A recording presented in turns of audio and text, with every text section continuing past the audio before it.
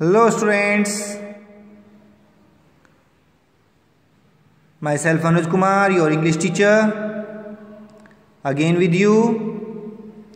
And today we will study Unit First, Lesson 2 of your book Marigold. Lesson name is The Magic garden. Here you can see a garden in the picture. You can see the garden in the picture. There are many children playing in the garden and we can see flowers rose flowers, sunflowers, marigolds, poppies, pansies. And we also can see birds and sun in the picture. And children are watering the plants. And here you can see in this picture, a child is feeding the bird. Students आपने देखा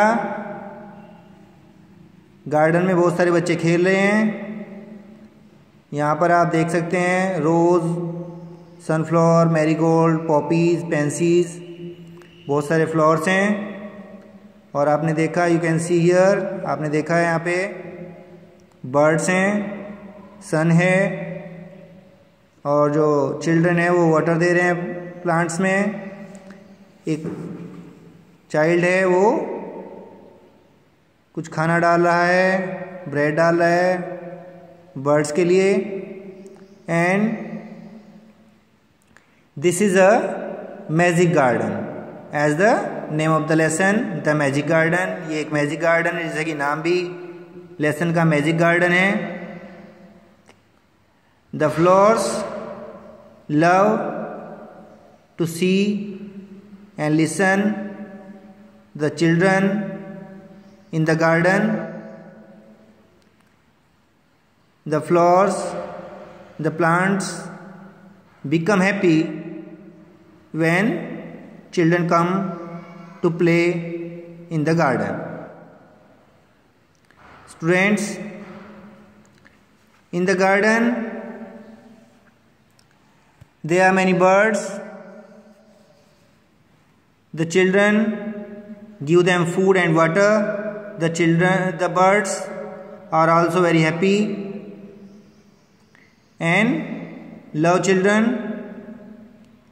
The sun also loves children.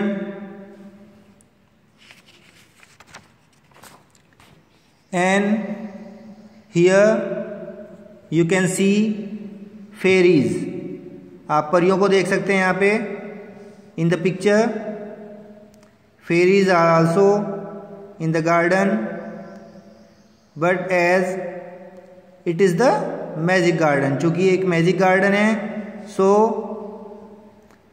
only the children can see and hear the fairies. केवल ये बच्चे ही इन fairies को देख सकते हैं, सुन सकते हैं। And fairies are dancing. their dresses are made of flowers fairies dance कर रही हैं, उनकी जो ड्रेस हैं वो फ्लावर्स से बनी है। And their wings are made of sunshine उनके जो विंग्स हैं, वो सनशाइन से बने हैं। Now students I explain you this lesson by reading in the next video today I told you the story, what is the content, what is the theme, what is in the lesson. So friend, see this video. And if you have any problem, you can comment in the WhatsApp group. And please like, please share this video. And please subscribe my channel thank you students. Thank you very much